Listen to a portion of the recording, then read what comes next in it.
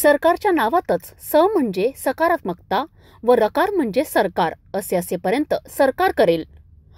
मात्र समाज एकत्र असेल आणि समाजाचा दबाव असेल तर सरकारला त्या गोष्टी करणे बंधनकारक असतं मग ते सरकार कोणतेही असो सरकारला समाजाच्या सोबत राहावे लागते आणि समाज ठरवेल तेच तोपर्यंत सरकार राहू शकते असे संपूर्ण समाजाने एकत्र येऊन चांगला विचार करणे गरजेचे आहे संपूर्ण समाजाने वाईट विचार केला तर त्यातून गुंडागर्दी निर्माण होऊ शकते वाईट गोष्टी घडतात म्हणून सर्वांचे मन चांगलं बनावं असे राष्ट्रीय स्वयंसेवक संघाचे सरसंघचालक मोहन भागवत यांनी अमरावती येथे भानखेडा स्थित संत कबीरराम धाममध्ये गद्दीनशिणी समारोह समारंभात स्पष्ट केले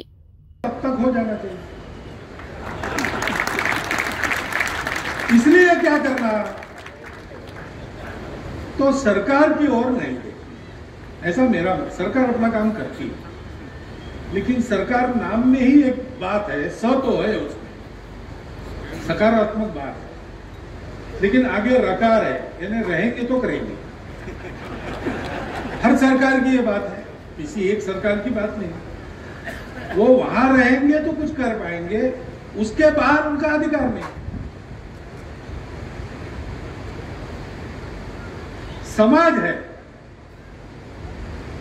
वो अगर एक होकर सोचता है तो जो चाहता है वो कर ले सरकार कोई भी हो उसको समाज के साथ चलना पड़ता है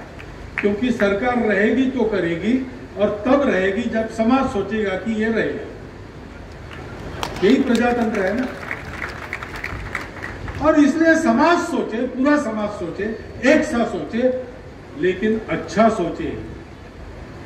सोच दोनों प्रकार की होती है अच्छा सोचे सब लोग मिलके बुरा भी सोच सकते हैं तो गुंडागर्दी होती है दंगे फसाद होते हैं मारकाट होती है हिंसा होती है अशांति फैलती है वो नहीं होना चाहिए इसलिए सबका एक मन बने